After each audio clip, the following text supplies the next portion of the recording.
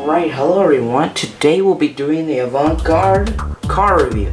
Now today we'll be checking out him, we'll be talking about the colors a little bit.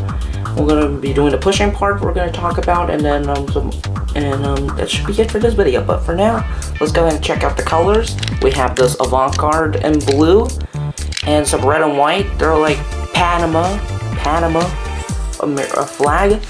Looks a bit like the United States car or France with this car, but it's like the World Soccer. It was from 2014. I had it for like a long time, since like um, six years ago. And then we got this one, Avant-Garde, in the yellow and the yellow seats, and we have this light blue line.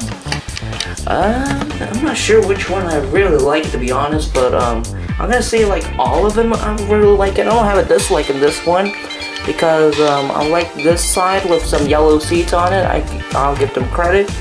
And like with the red seats on this one because blue and red matches together. So it's white, red, white, and blue. My favorite colors right there. Except I don't just usually like a lot of white.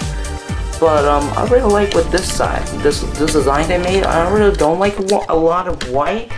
Like um, let me grab a card with my grabber. There. Here, this one, this Honda Civic, the 2018 Honda Civic Type R. I already done a review on just that's what I'm talking about. I just don't like it in all white, like this one. But um, this one it looks pretty cool, which I I'll give the credit. Now this one I really like it as much. Take the Honda Civic. I really like this one better.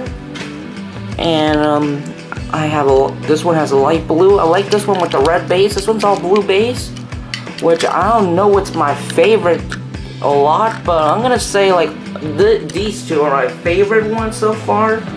This is a hard decision, but um, yeah, I'm gonna stick with these two because these two are my favorite cars that I have.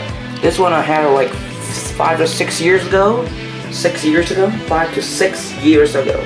But um, let's go and do the pushing part. I really can't wait for this, these cars. Let's see how well they do. Move this. Ready, go. Ooh, the bumper's a little bit movie. The bumper's not too straight, like the Fords. See, look, if you go to the left rear, oh wait, the, when you push it right here, it's gonna move a little bit. I think, because when, I, when it goes right here, this part right here moves out of the way a little bit. But let's go ahead and the left rear.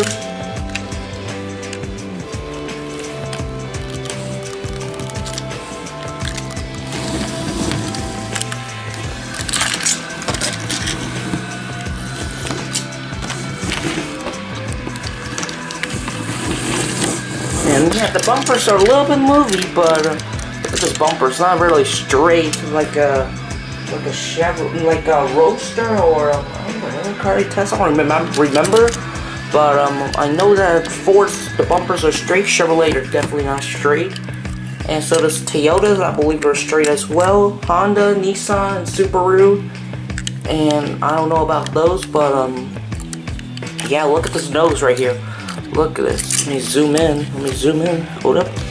Look at the nose right here. It's like too, it looks a bit too straight. There's a UPS going by in my apartment, so fantastic. So I like this side with red, or FedEx, whatever truck that was, or gray on this side. I like this side. And um, yeah, the bumper's a little bit not straight, like I say, but um, at least it was a little bit of push and it was a good save. But anyways, hopefully you all enjoyed this video for Avant-Garde look forward for that video. Hope y'all have a great day or night, and bye for now.